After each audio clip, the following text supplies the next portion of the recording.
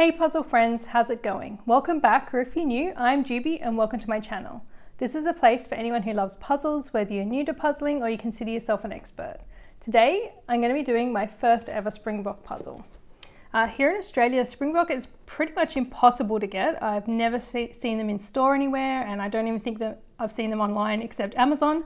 So that's where I grabbed this one. This is one I found on Amazon Australia and uh, yeah, I just thought it was a really fun colorful looking puzzle. Um, kind of a nice celebratory puzzle to do as my first Springbok. And it's also a little bit kitsch and makes me think of 80s cookbooks, but I think that's kind of fun. Um, yeah, so in a sec, we will have a closer look at the packaging, open it up and have a look at the pieces and sort of see what we're dealing with. And then we'll get into some puzzling. So let's just have a closer look at the packaging. Um, so it, I don't know if all Springbok puzzles are like this, but this one comes in like a square shaped and kind of thinnish, I guess, box. Um, the cardboard kind of feels a little bit flimsy, like it's pretty bendy. Um, so yeah. Um, anyway, the front has the nice colorful image on it and then has Springbok and it's 1000 pieces and also just mentions that um, it's been like making puzzles for over 57 years, which is pretty cool. And then each of the sides has, what does it have?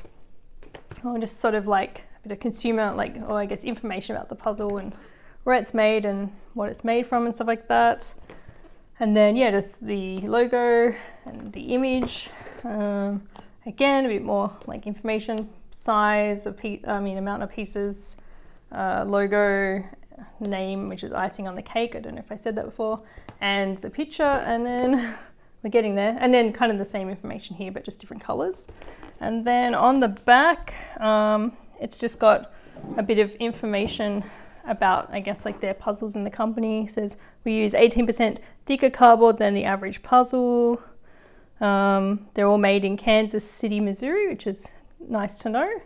Um, and oh, it says due to our unique dies, no two puzzle pieces are alike. So that's really cool. I actually like that because it means hopefully we won't get any false fits.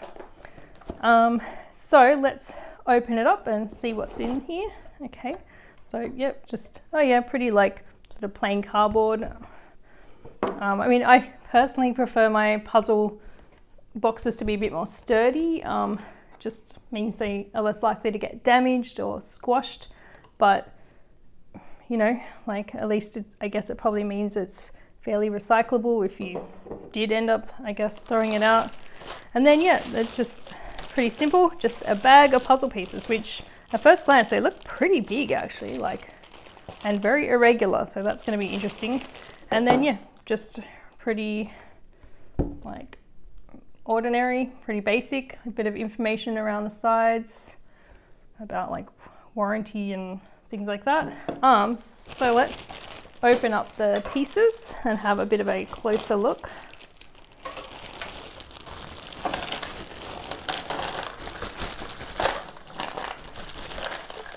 Okay, so there's a bit of puzzle dust, like I can see it in the bag. Um, yeah, they smell very cardboardy. And wow, they're really, uh, they definitely have some interesting shapes. So and there's a few that are stuck together, like the, I guess the die cut hasn't gone all the way through. So like, I don't know. Oh, it seems like I can like pull them apart pretty easily. That's, yeah, but there are definitely some that are like, don't seem to have, yeah, where the, the cut hasn't gone all the way through. So maybe the, the die cut machine or die cut that they used was a little bit blunt or has done quite a lot of puzzles. So this one I might have to use a scalpel to separate. I don't want to like tear the cardboard on the back. So anyway, speaking of the cardboard on the back, um, yeah, so it just looks like it's a sort of grey, like the natural sort of grey, grey board, I guess. And then the front is like smooth but a bit glossy. Um, so yeah, they're just like cardboard pieces. But yeah, they're definitely big, like bigger than like something like Ravensburger or something like that. And they say they're thick, but like I guess I guess they are. Um, they definitely you could bend them, but they seem pretty sturdy. So yeah, but yeah, they're definitely, they feel big. So, oh, there's some really interesting shapes. So this is a whole, whole one. So yeah, pretty, pretty interesting shape. And what else? Oh, they're, yeah, very irregular. Um, I think like, I haven't done that many puzzles that have like really irregular shapes. Like I think some of my Cobble Hill ones do, so that makes them quite interesting to put together and sometimes a little challenging. So that could make this pretty difficult, I don't know, or maybe sometimes it'll be easier. Um, yeah, some very like, very irregular shapes. So at least, yeah, there shouldn't be any false fits. Um, whoa, this one's pretty interesting too. Maybe I'll put them here. I don't know if you'll be able to see them any better, but I'll probably put a closer look at the pieces up in the corner here as well. So, but yeah, they're like really interesting shaped. Um, they kind of feel, I guess like, they feel okay. They definitely don't make me feel like I'm doing a high quality puzzle um, because they feel like, like the back sort of where it's been cut out has these like, feels a bit, a little bit rough a bit tatty.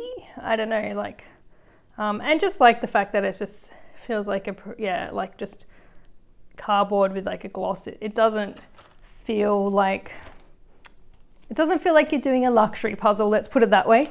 Um, but you know, that doesn't mean it won't be a fun and like a good puzzling experience. Like, I don't think, you know, you have to have the most luxe pieces ever to have a fun, fun experience. You know, it's more about how do the pieces fit together and, you know, how like, is this gloss finish going to be like too shiny? Is it going to affect my puzzling or not? Things like that. Um, but yeah, I'm definitely really interested, interested to try this and see what, the, like how these sort of really irregular and interesting shape pieces sort of fit together, like, and see what, yeah, see what the fit's like. Um, yeah, so I think we will get into some puzzling in a sec. So I've got my puzzle board out and I'm ready to sort of start figuring out how I'm going to sort these pieces and how where I'm going to start on the puzzle. Um, also, it's a bit of a different size. Like this is the puzzle board I usually keep for my 1000 pieces and this is 1000 pieces, but the size is somewhere. Oh, here, uh, it's 61 centimeters by 76.2 or 24 inches by 30 inches.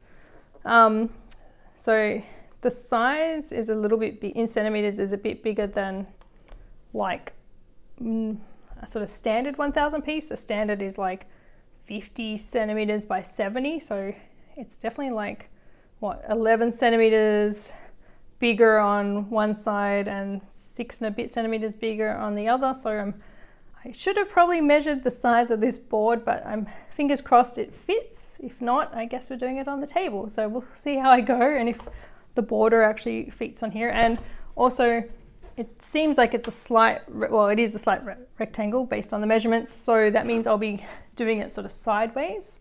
Um, that's usually how I do all my sort of, um, I guess, like portrait style uh, puzzles. I tend to do them sideways because if I, I mean, I could potentially do them like in long ways, but it means like spinning my puzzle board around more. Um, but at least to get started with, to be able to reach the border, it's probably easier to do it this direction. So we'll see, maybe uh, like if I need to, I'll change the direction of the board and things like that. Um, so I figure looking at the picture, it's a pretty varied picture. So I think pulling out the border or edge pieces should be maybe, a, like I think it'll be a good place to start. Um, I don't I've never like this with these pieces being irregular. I don't know if there's going to be any like false edges or not. There could be, but we'll just have to see how it goes, I guess. And then after that, I'm thinking I might pull out all this blue because it's really distinct. Like there's no other blue in this image at all. So I think that could be fun to do that. And then I might head on down to the bottom and try and pick out like the strawberries, maybe some of this like white dish and then the brown and then maybe work my way up through the layers of the cake. Um, we'll see how it goes. I mean, that sounds easy, but maybe it won't be that easy or I might find a, I don't know, a better way to do it. We'll see. Um, yeah, so let's start pulling out some border pieces and border and blue, which some of them are going to be both. So if they're blue and a border, they'll go in the border pile. Um, to me, that makes sense. Um, yeah, there's definitely quite a lot here that are stuck together, but they seem like they most of them come apart pretty easily. Um, I mean, like that happens like with quite a lot of puzzles where the you know the die cut just hasn't gone all the way through, but most of the time it's a pretty easy fix. And I'm kind of glad these don't have any backing paper because sometimes like when they do have backing paper, it can make like trying to separate them if they're not all the way cut all the way through a bit more difficult and rips off like the backing paper. So here's a blue one. But yeah, I think this is going to be, I don't know if it's going to be a fun experience putting together irregular pieces. I, I think it would definitely be interesting. I definitely haven't seen many brands that have them. I mean, I know they're out there, but there just seems to be less and less, I find. Um, like I'm pretty sure some of my Eurographics used to be irregular, but now they're all just sort of standard shapes. So yeah, I don't know. I, I haven't seen too many brands that have this sort of different piece shapes, except for, like I said, Cobble Hill. So uh, seems, okay, there's definitely a lot of blue border pieces. Yeah, so I think I'm just gonna keep on doing this and pull out as many other blue ones that aren't border pieces. I might just do that first and then um, pull out like the brown pieces and things like that. Um, so yeah, I'm gonna keep on doing this and then get into some puzzling.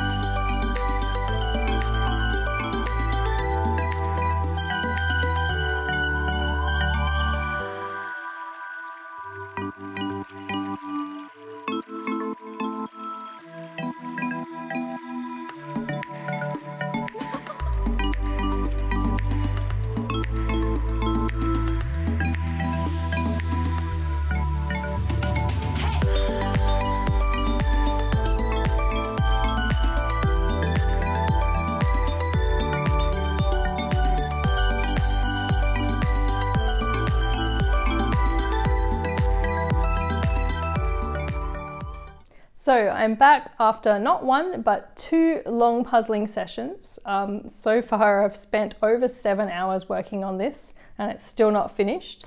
Um, so yeah, definitely foresee, well, at least one more puzzling session. Hopefully that'll be the only one to finish this off. Um, but yeah, so a couple of things. Um, you've probably noticed that I'm on a different puzzling board than I was going to puzzle on and that's because I decided just before I got into puzzling, maybe I should measure the dimensions of the puzzle versus my puzzle board. And yes, lo and behold, the puzzle board, which normally fits like your sort of average standard size 1000 piece puzzles, was not going to fit this. So yes, we had to upgrade. Um, and I think I was going to do it sideways anyway, which I'm still doing just because if I did it the other way, there's no way I could reach the other side. I mean, I can barely reach it. Like now, it's a bit of a struggle and even in, I did still have to get up and walk around and put pieces in uh, like properly anyway. So yeah, so it's still been a struggle um, even having it sideways. So um, yeah, what, oh, and you may have noticed, some of you may have noticed that I didn't, as well as usual, I changed my mind on how I was going to put this puzzle together. So I still put the border together and then the blue and then I think I said I was going to sort of work my way up, like do the brown or some of the bottom stuff. Well, you know, of course, at the last minute, I changed my mind and decided that the pink and the, the strawberries were very pretty, and that's what I wanted to do first.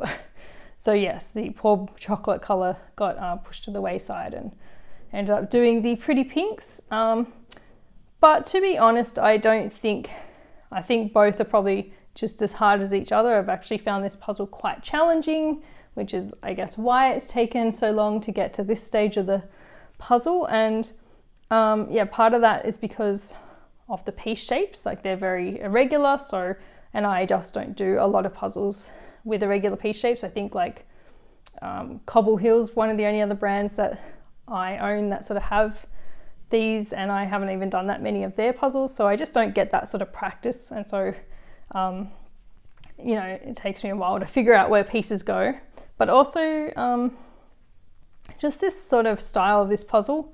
It's like, I guess the way the, the photography and the textures of the like elements in the cake are just really tricky to put together. So yeah, so I guess if you were to do this puzzle, it probably doesn't really matter which areas you start on. I think a lot are pretty tricky. Like the pink was just as was pretty time consuming and was just as tricky as like the wafers and the chocolate. So yeah, I think you might as well just pick whichever you like the best and start on that.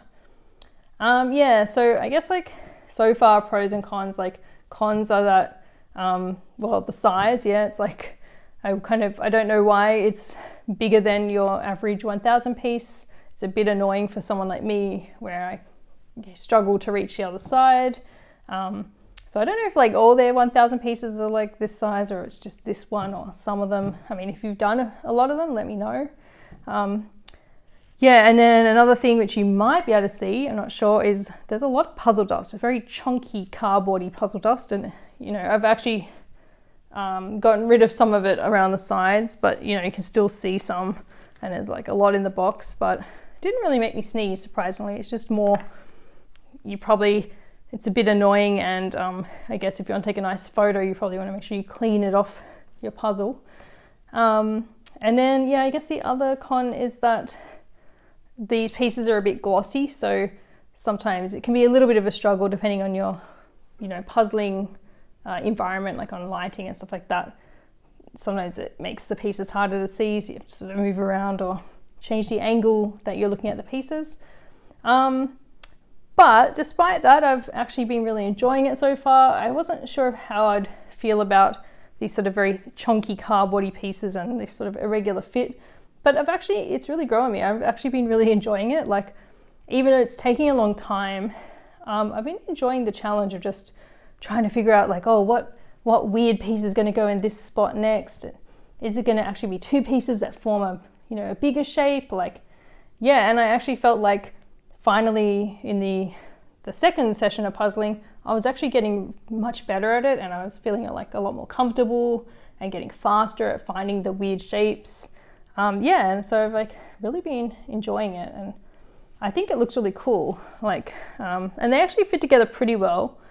Um, like, although it's a bit of a 50-50, like as you can see, some bits come together, but some bits don't. Um, so I'm not sure I really want to risk doing a puzzle pickup at the end of this because I don't feel like cleaning up puzzle pieces off my floor. Um, so yeah, I'm not sure I'd recommend a puzzle pickup with this with a Springbok puzzle, but but for sort of puzzling purposes, they the pieces seem to hold together reasonably well. So you know, I think that's the more important thing here rather than doing a puzzle pickup, although that is pretty fun.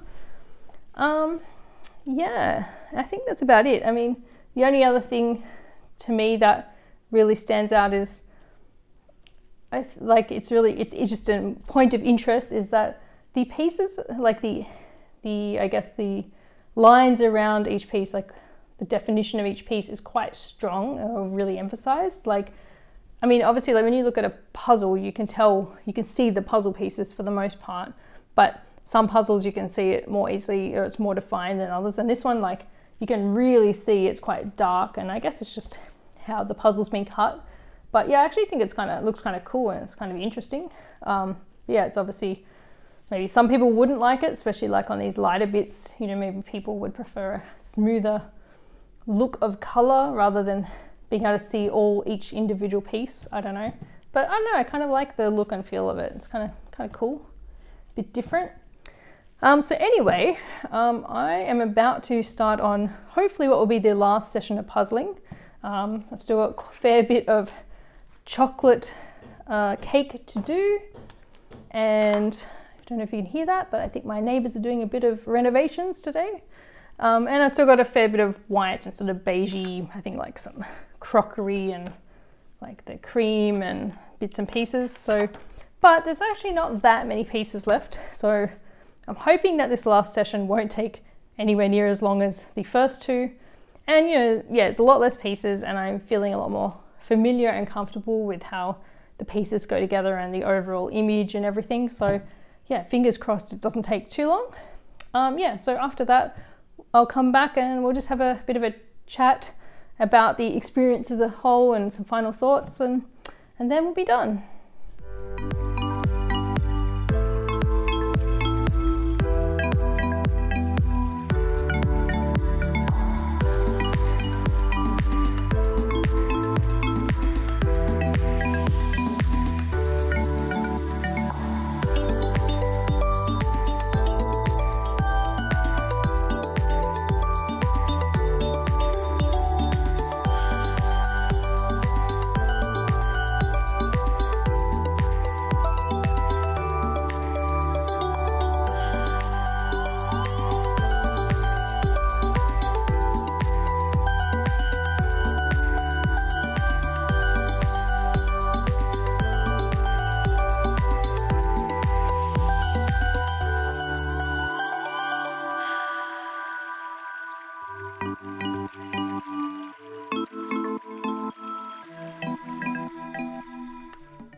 Yay, so I've finally finished the this wonderful cake puzzle from Springbok. Um, that last session took me about an hour and 40, so still like a fair bit of time, but definitely way less than the other two puzzling sessions. But I think still all up, it definitely took what, like over eight or nine hours. So um, fair bit of time. I've definitely done one other 1000 piece puzzles that have probably taken that long, depending what they are. But for me personally, it's definitely like on the longer end of like how long it takes to do a 1000 piece. Um, but you know, despite that, I had a really great time. Um, I really enjoyed the fit of these like sort of irregular, like fun, weird shaped pieces. They were just, yeah, a lot of fun to sort of put together and started really getting into like into figuring out how they go. I sort of like, there's sort of a, I feel like a certain way that pieces go together and I feel like you it's kind of hard to explain but I think if you've done a lot of these you'll get what I mean. Um, it's it's like you see a big shape but then eventually you realize like it's probably actually not a giant piece. It's probably actually a couple of two or three pieces that make up that bigger puzzle shape. So yeah there's some little tricks like that and even like some sort of false uh, edges around. So yeah definitely like quite interesting doing uh, a puzzle with these sorts of pieces. Um, yeah, so I guess as for pros and cons, like I mentioned a bit earlier, um, cons are probably, there aren't too many. It's like there's puzzle dust, which didn't actually cause me any problems sinus sneezing wise, but it's just a bit messy. Um, so it's the sort of thing where you definitely have to like clean off your puzzle board and maybe puzzle once you're finished, especially if you want to take a nice photo, you probably just have to like brush off the puzzle dust or wipe it down or something. Um, but it didn't really cause me too many issues. And then I'd say the other couple things are one, the pieces are definitely glossy. So, um, I mean, thankfully at the moment I can actually see a fair amount of the puzzle. It's just sort of that section for me that's glossy, like that I can't see. Um, so I think, you know, it's just something to be aware of. It didn't actually cause me too many problems, um, but, you know, it probably just depends what kind of lighting you're working under, but just something to be aware of.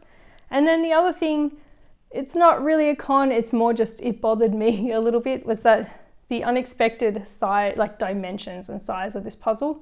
Um, I don't, I just don't know why it's bigger than a 1000 piece, or why it has to be bigger. I mean, obviously I know why, I guess because the pieces are bigger, but you know, I, I don't know why they've designed this one to be bigger than a sort of average standard 1000 piece. And I don't know if all of their 1000 pieces are this size or not. Um, but it just made it a little bit more awkward in that I had to get out a bigger sort of like more cumbersome uh, puzzle board and it meant that I had more trouble reaching from one side to the other. Um, but they're just they're little things and it's just that's more a personal thing, so that might not be a problem at all for anyone. Basically, I guess my my issue with it is that it meant that I had to get up to place puzzle pieces, um, and I am a lazy puzzler and I didn't want to do that. So, whereas if you like getting up and walking around your puzzle, then it's not an issue for you. Anyway, moving on. Um, so yeah, that was it for cons, and then pros are that it's a really fun, bright image. Like the the print quality is great. The colors are nice and vibrant. Um, the pieces fit together well. Uh, also, because of like this irregular piece shape, there weren't really any false fits. I think I had like one sort of thing very early on. I, I don't know how, but I did, but it was easily fixed. And um, yeah, but all the other pieces didn't have any issues going together. And I just, yeah, I really had a lot of fun with those interesting piece shapes. And I quite like this sort of uh, very bold, sort of definition of the pieces. Like it, they look gappy, but they're not. Like it's, but they just sort of stand out. And it's maybe not for everyone, but I, I kind of like the look of it. It's very like unusual and interesting and kind of cool. I thought. Um, yeah, and yeah, like I said, the pieces go together well. However, it, they do hold together, I think, well enough for puzzling. But yes, I wouldn't trust it for a puzzle pickup. I don't think. Um, yeah, so um, I think that's kind of it. Like overall, I just had a really positive and pleasant experience. Like, I think the pros definitely outweigh the cons. Um, and yeah, I, I, would definitely do more Springbok puzzles. So I'm really looking forward to like, like I feel confident in that I can now like, you know, look for more fun Springbok puzzles out there and be confident that they're going to be like reasonable, good quality and you know fun to do. Um, and I've actually got a little 500 piece one that's quite fun like fun looking and colorful um, I'm guessing that it's the same sort of piece type and quality hopefully because it looks like a really cool puzzle and I like you know looking forward to doing that one now that I've done this one. Um, so yeah definitely yeah looking forward to getting more Springbok puzzles in my collection. Um, in terms of recommending it for others like I think in a general sense, yes, I absolutely recommend it.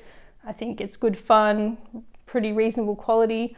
Unfortunately, I don't really know what the price is like because the price that I'm getting it for is just whatever it is on Amazon. So I don't think that's a really like uh, fair representation of what these actually cost in like the US. So I guess maybe in the comments if you sort of buy Springbok, let me know what sort of price range they're at. Like, are they really affordable or sort of mid range, or are they really expensive? I'm sort of guessing they're like affordable to mid range, is my my hunch. Um, I'm not too sure. And if that's the case, I would say like that's pretty worth it. Like you know, I, I think this is not like the sort of, I don't think you'd be wanting to pay like a Ravensburger price for something like this. Um, I think it, it should be priced lower than that. So if it is, I think that's good.